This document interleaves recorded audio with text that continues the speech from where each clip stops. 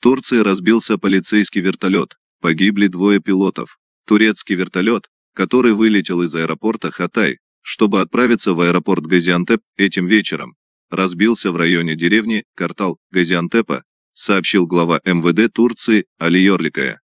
По словам турецкого министра, вертолет был зарегистрирован в реестре Главного управления авиации безопасности страны.